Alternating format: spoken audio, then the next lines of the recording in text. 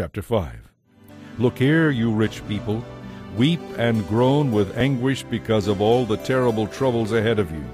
Your wealth is rotting away, and your fine clothes are moth eaten rags. Your gold and silver have become worthless. The very wealth you were counting on will eat away your flesh in hell. This treasure you have accumulated will stand as evidence against you on the day of judgment.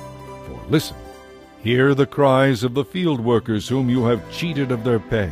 The wages you held back cry out against you. The cries of the reapers have reached the ears of the Lord Almighty. You have spent your years on earth in luxury, satisfying your every whim. Now your hearts are nice and fat, ready for the slaughter. You have condemned and killed good people who had no power to defend themselves against you. Dear brothers and sisters, you must be patient as you wait for the Lord's return. Consider the farmers who eagerly look for the rains in the fall and in the spring. They patiently wait for the precious harvest to ripen. You too must be patient and take courage, for the coming of the Lord is near.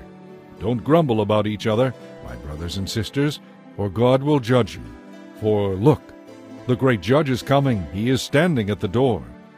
For examples of patience in suffering, dear brothers and sisters, look at the prophets who spoke in the name of the Lord. We give great honor to those who endure under suffering. Job is an example of a man who endured patiently. From his experience, we see how the Lord's plan finally ended in good, for he is full of tenderness and mercy. But most of all, my brothers and sisters, never take an oath by heaven or earth or anything else. Just say a simple yes or no, so that you will not sin be condemned for it. Are any among you suffering?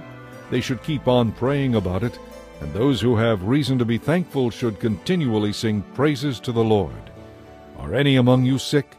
They should call for the elders of the church and have them pray over them anointing them with oil in the name of the Lord. And their prayer offered in faith will heal the sick, and the Lord will make them well.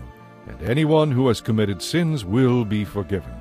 Confess your sins to each other, and pray for each other so that you may be healed. The earnest prayer of a righteous person has great power and wonderful results. Elijah was as human as we are, and yet when he prayed earnestly that no rain would fall, none fell for the next three and a half years. Then he prayed for rain, and down it poured. The grass turned green, and the crops began to grow again. My dear brothers and sisters, if anyone among you wanders away from the truth and is brought back again, you can be sure that the one who brings that person back will save that sinner from death and bring about the forgiveness of many sins.